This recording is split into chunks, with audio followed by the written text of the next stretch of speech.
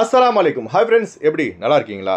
குவைத்தில் உள்ள வாகன ஓட்டுநர்கள் அதிக எச்சரிக்கையாக இருங்க. அதாவது கடைசி பத்து நாள் மிக மிக முக்கியமான நியூஸை பார்க்க போகிறோம் அடுத்து குவைத் முழுவதும் பலத்த பாதுகாப்பு எலெக்ஷன் தொடர்பான மிக முக்கியமான நியூஸை பார்க்க போகிறோம் அடுத்து தொடர் விடுமுறை நாட்களை சிஎஸ்சி அதிகாரப்பூர்வமாக அறிவித்துள்ளது. அந்த நியூஸை பார்க்க போகிறோம் அடுத்து த ஜென்ரல் டிராஃபிக் டிபார்ட்மெண்ட்டின் அவசர தகவல். இப்படி பல முக்கியமான தகவல் இந்த வீடியோவில் இருக்குது வீடியோ ஃபுல்லாக பாருங்கள் உங்கள் நண்பர்கள் அனைவருக்கும் கட்டாயமாக இந்த வீடியோ ஷேர் செய்யுங்க. இப்போ வாங்க கோயத்துடைய மிக முக்கியமான நியூஸை பார்ப்போம். ஈத் அல் ஃபிதர் ரமலான் பண்டிகை விடுமுறை நாட்கள் ஏற்கனவே வெளியான நிலையில் இப்போதான் சிவில் சர்வீஸ் கமிஷனின் தலைவர் டாக்டர் இஸ்லாமல் ருபியான ருபியான் அவர்கள் அதிகாரப்பூர்வ அறிவிப்பை வெளியிட்டுள்ளார்கள். அதாவது ஏப்ரல் ஒன்பதாம் தேதி முதல் ஏப்ரல் பதிமூணாம் தேதி வரை இஜாசா அதாவது அஞ்சு நாட்கள் விடுமுறை ஏப்ரல் பதினாலாம் தேதி தான் மீண்டும் பணிகள் தொடரும் என சிஎஸ்சி தெரிவித்துள்ளது. கோயத்துடைய Al Ujairi scientific research centre ஏற்கனவே ஏப்ரல் பத்தாம் தேதி தான் ரமதான் பண்டிகை கொண்டாடப்படும் என அறிவித்துள்ளது குறிப்பிடத்தக்கது. அடுத்த தகவல் குவைத்தில் நாளைக்கு ஏப்ரல் நாலாம் தேதி எலெக்ஷன் நடக்க போகுது. அதனால் நாளை குவைத் முழுவதும் விடுமுறை அறிவிக்கப்பட்டுள்ளது. அதாவது அனைத்து அமைச்சகங்கள் அரசு நிறுவனங்கள் மற்றும் பொது நிறுவனங்களுக்கு விடுமுறை அளிக்கப்பட்டுள்ளது.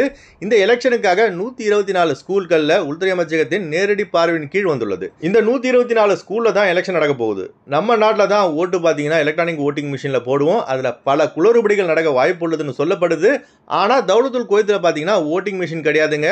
அனைத்து கொய்த்துகளுமே வாக்கு சீட்டில் தான் ஓட்டு போட வேண்டும். கொய்த்து மட்டும் கிடையாதுங்க. England France Germany Netherlands America உள்ளிட்ட டெவலப்டு கண்ட்ரி எல்லாம் இவிஎம் என்று சொல்லப்படும் எலக்ட்ரானிக் ஓட்டிங் மிஷினை பயன்படுத்த தடை விதித்துள்ளது. ஆனால் இந்தியாவில் எலக்ட்ரானிக் ஓட்டிங் மிஷின் தான் இருக்க வேண்டும் என எலெக்ஷன் கமிஷன் தெரிவித்துள்ளது. குவைத்தில் ஆரம்பித்து இந்தியா வரைக்கும் வந்துட்டோம் பாருங்க.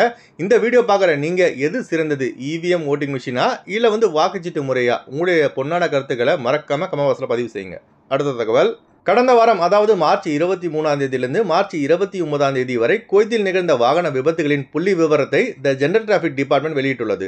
அதாவது ஒரு வாரத்தில் மட்டும் ஆயிரத்தி அறுநூத்தி இருபது வாகன விபத்துகள் நிகழ்ந்துள்ளது. இதில் இரநூத்தி தொண்ணூற்றி மூணு விபத்துகள் பார்த்தீங்கன்னா மிக மோசமான விபத்துகள். மேலும் ஆயிரத்தி நானூற்றி ஒன்பது சிறிய விபத்துகள் அதுபோல இருபத்தி மூணு சிறுவர்கள் வாகனம் ஓட்டியதற்காக கைது செய்யப்பட்டு வழக்கு பதிவாகியுள்ளது. மேலும் நூற்றி முப்பது வாகனங்கள் மற்றும் இருபத்தைந்து மோட்டார் சைக்கிள்கள் வாகன விதிமுறைகள் செய்யப்பட்டதால் பறிமுதல் செய்யப்பட்டுள்ளன. கோயத்தில் அதிகமான ஆக்சிடென்ட்கள் நடப்பதற்கு மிக முக்கிய காரணமே பார்த்தீங்கன்னா கவனக்குறைவு தாங்க.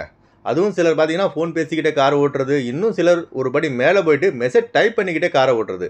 இதனால தாங்க கோயத்தில் ஆயிரக்கணக்கான ஆக்சிடென்ட்கள் பதிவாகுது. ஒரு வாரத்தில் மட்டும். திருடனாய் பார்த்து திருந்தாவிட்டால் திருட்டை ஒழிக்க முடியாது பழமொழிக்கு போல. வாகன ஓட்டுநர்கள் பார்த்து திருந்தாவிட்டால் வாகன விபத்தை தடுக்க முடியாது என்ற பழமொழி தான் இப்போ வந்து கொய்த்துக்கு கரெக்டாக இருக்கும். அதுபோல் கோயத்தில் உள்ள ஹவுஸ் டிரைவர்கள் அதிக எச்சரிக்கையாக இருங்க. உங்கள் அரபி வீடுகளில் உள்ள அரபி பசங்க உங்களுக்கு தெரியாமல் கார் எடுத்துகிட்டு போகலாம். அதனால் கார் சாவியை மறைச்சி வைங்க. ஏன்னா அரபி பையன் எங்கேயாவது கார் எடுத்துகிட்டு போய் மோதிட்டு சை காத்தி சையாரான்னு நம்ம மேலே வந்து பழைய போட்டுருவான். அதனால் உஷாராக வேலை செய்யுங்க. அதுபோல் கார் ஓட்டும் போது அதிக எச்சரிக்கையாக செயல்படுங்கள். அடுத்த தகவல். கோயத்தில் இப்போ ரமதான் மாதத்தின் கடைசி பத்து நாள் இரவு தொழுகை நடந்துட்டுருக்கு. அதனால் வீட்டு டிரைவர்கள் அவங்களுடைய பாபா மாமாவை காரில் அழைச்சிட்டு பள்ளிவாசலுக்கு போயிட்டு தொழுதுட்டு வராங்க. இப்படி தொழுதுட்டு வரும்போது சில அரபி பசங்க கொய்திகள் இல்லாத சமயமாக பார்த்து நம்மக்கிட்ட வம்புக்கு எடுக்கிறாங்க சபையாவில் ஒரு சம்பவம் நடந்துட்டுருக்கு. இந்த வீடியோவை பாருங்கள் ஹவுஸ் டிரைவர்கள் எச்சரிக்கையாக இருங்க. கட்டாயமாக இந்த அவசர வீடியோவை உங்கள் நண்பர்களுக்கு ஷேர் செய்யுங்க. சலாம் வலைக்கம் குறிப்பாக வீட்டில் டிரைவருங்க கொஞ்சம் கவனமாக இருந்துக்குங்க. முக்கியமாக சபைகள் இருக்கிறவங்க. நேற்று நைட் என்னோடய மேடத்தில் அழைச்சிட்டு நான் சல்லிக்கு போகிறப்ப எனக்கு நடந்த சம்பவம் இது. கிட்டத்தட்ட ஒரு பத்து பதினஞ்சு பசங்க வந்து நம்மளை போட்டு ஒம்பல் கேட்குறாங்க படாத பாட்டு படுத்துறாங்க. இதை ஒரு கொய்த்து தான் வீடியோ எடுத்தார். அவர்லாம் எனக்கு என்ன நடந்திருக்கு எனக்கே தெரியாது. அந்த அளவுக்கு நம்மளை போட்டு இது பண்ணாங்க. இது எனக்கு மட்டும் நடக்கல. இதுக்கு முந்தின நாள் என்னோட நண்பருக்கும் இதே மாதிரி நடந்திருக்கு. நான் விஷயத்த சொன்னேன் அவரும் வீடியோ அனுப்புறாரு. அதே பசங்க தான் பண்ணுறாங்க பார்த்து கவனமாக இருக்குங்க தனிப்பட்ட முறையில் தனியான டிரைவராக இருக்காதீங்க. குறிப்பாக சபைகளில் இருக்க டிரைவருங்க அடுத்த தகவல். இப்போதைக்கு ஒயிட் பாஸ்போர்ட் உள்ளவங்க ரெசிடென்சி அஃபேர்ஸ் டிபார்ட்மெண்ட்டுக்கு போகாதீங்க அதுபோல் சிஐடி ஆஃபீஸ் துவார் ஆதம் அங்கே இருக்குது அங்கேயும் போகாதீங்க ஏன்னா இப்போ பார்த்தீங்கன்னா ரொம்ப ரஷ்ஷாக இருக்குது அதனால் காவல்துறை அதிகாரிகள் குவைத்தில் எலெக்ஷன் நடக்க போகிற காரணத்தால் திருப்பி அனுப்பப்படுகிறார்கள். இப்போ சமூக சேவகர் அலிபாய் வெளியிட்டுள்ள இந்த வீடியோவை பாருங்கள் நண்பர்களே சகோதரர்களே பதிவு நாள் ரெண்டு நாலு ரெண்டாயிரத்தி இருபத்தி நாலு.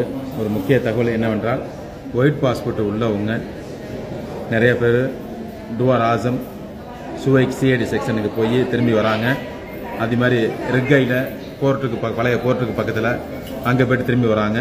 தயவு செஞ்சு ரெண்டு நாள் ஒரு நாள் பொறுத்துக்குங்க. அங்கே உள்ள அதிகாரிவோ சாபர் மக்களில் உள்ள அதிகாரிவோ திருப்பி அனுப்புகிறாங்க கூட்டம் அதிகமாக இருக்கிறதுன்ற காரணத்தால் திருப்பி அனுப்புகிறாங்க அதனால தூதரத்தில் தூதரத்தில் கலந்து ஆலோசனை பண்ணிக்கிட்டு என்னங்கிறது விவரம் உங்களுக்கு தெரியப்படுத்திக்கிறோம்.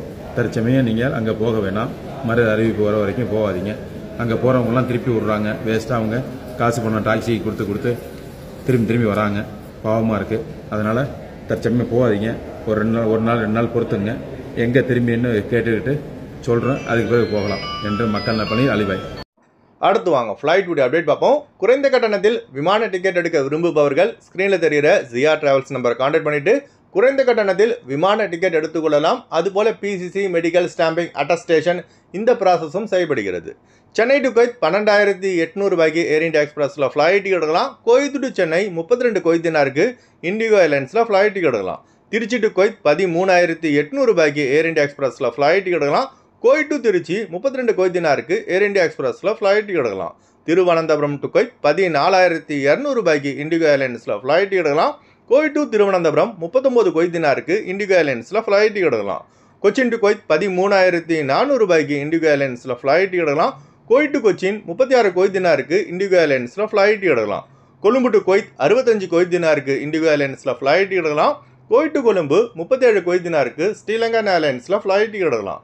அடுத்து வாங்க கொய்த்துடைய தினார் ரேட் பார்ப்போம். ஒரு தினார் குவைத் இந்தியாவின் மதிப்பு இரநூத்தி எழுபது ரூபாய் அறுபது பைசாவாக உள்ளது. ஒரு தினார் குவைத் இலங்கையின் மதிப்பு தொள்ளாயிரத்தி எழுபத்தி மூணு ரூபாய் பத்து பைசாவாக உள்ளது. இப்போ நான் சொன்னது வந்து அல்முலா ரேட்டுங்க. அடுத்து கோயத்துடைய கோல்ட் ரேட் பார்ப்போம். ஒரு கிராம் இருபத்தி நாலு கேரட் தங்கத்தின் விலை இருபத்தி ரெண்டு தினார் எழுநூற்றி நாற்பத்தி மூணு பில்ஸாக உள்ளது. ஒரு கிராம் இருபத்தி ரெண்டு கேரட் தங்கத்தின் விலை இருபத்தி ஒரு தினார் நானூற்றி ஐம்பது பில்ஸாக உள்ளது. ஓகே ஃப்ரெண்ட்ஸ் இந்த வீடியோ அதிகமாக ஷேர் செய்யுங்க. இந்த வீடியோ சம்பந்தமாக நீங்கள் என்ன நினைக்கிறீங்கன்னு மறக்காம கமபாஸில் பதிவு செய்யுங்க. எப்போதும் இணைந்திருப்போம். உங்களின் ஒருவன் ஜியாவுதீன். அஸ்லாம் அலைக்கும்.